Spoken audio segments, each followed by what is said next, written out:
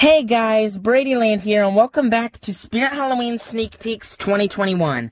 The next animatronic that I'm going to be covering from the Graveyard Shift teaser video is going to be the 5-foot shorty animatronic decoration, which is licensed from Killer Clowns from Outer Space.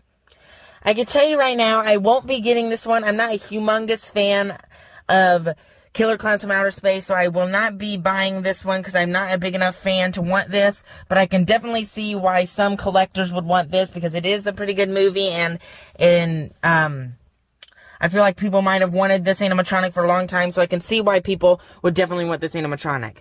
Uh, this animatronic's just like the Caretaker. It's not quite on their website yet, but I believe the price is two nineteen ninety nine, which for me is too much because I'm not a big fan of it and I don't really want it. But to other people, it's probably a good price. You know, collectors and stuff that want to collect an animatronic like this one.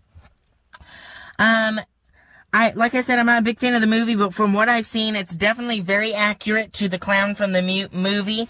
Um, it looks pretty accurate. It look it's pretty tall actually, seeing as it's a shorty. It is pretty tall, five foot which is not like the tallest animatronic that they've ever had, but it's still pretty decently tall for its size. Um, it looks very creepy and cool. Um, even though I'm not a big fan of the movie and won't be getting it, it still it looks very good and looks very good quality and looks very creepy. Uh, here's the description. After a strange glowing object from space crashed down onto Earth just outside of Crescent Cove, the evil clownish aliens known as the Clowns emerged to have their twisted fun and wreak havoc this Halloween.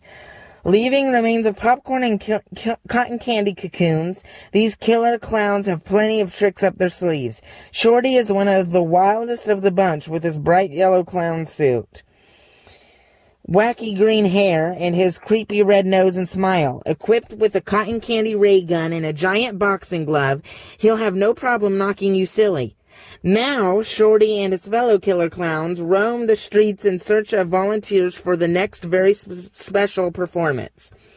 Once you get a ticket to this killer clown circus, there's no gu- guarantee you'll make it out alive. You'll need to watch your back this Halloween once Shorty comes to life with his swaying head movement and up and down moving arms. Once you once you hear him play his intergalactic sounds and you add his removable boxing gloves, he'll be ready for some killer clown action. So that's another cool thing. He comes with boxing gloves and you can either have them on his hands or off his hands.